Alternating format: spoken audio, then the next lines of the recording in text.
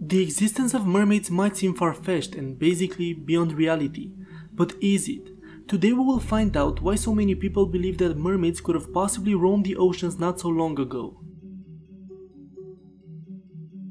It is well known that mermaids are seen in mythology as half-fish creatures that attracted sailors and pirates with their incredible singing voices and their unusual physical appearance. Of course, these are only stories, but where did these stories come from?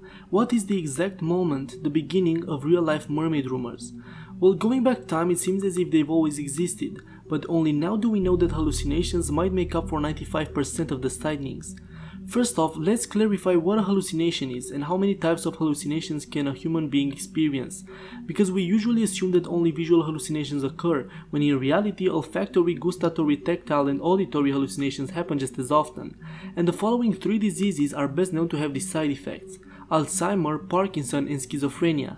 So there is a high probability that the exposure to sun for multiple months, the lack of social interactions and the life in filth might have caused these side effects in sailors. A human, especially a female with a tail, is the perfect fit for a captivating story. So what does biology think about this concept?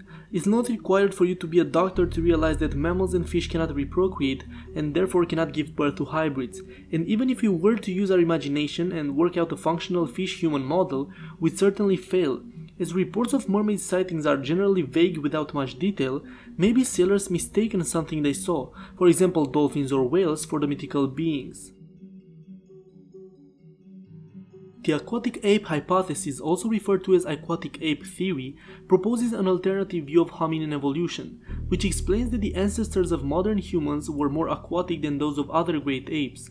The marine biologist Alistair Hardy came up with the concept in 1960, hairlessness and bipedalism being two of the strongest arguments. The lack of body hair humans have in comparison to other mammals might be due to it being easier for the early humans to flow through water hairless.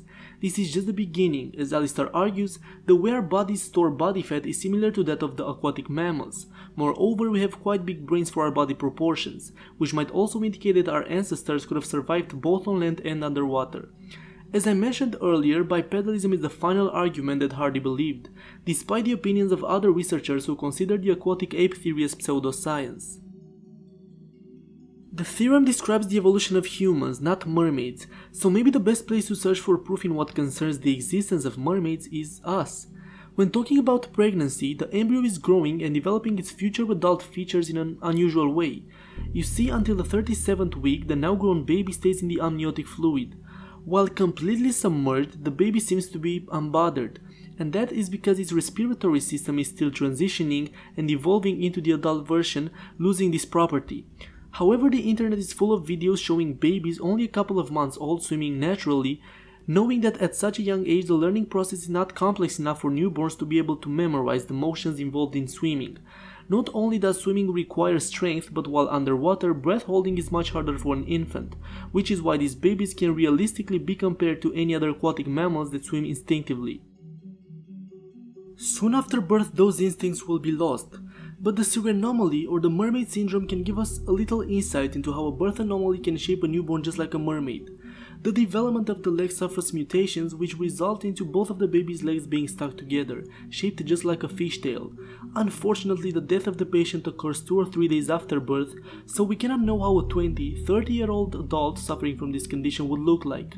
In this specific scenario, the condition is caused by a kidney mutation.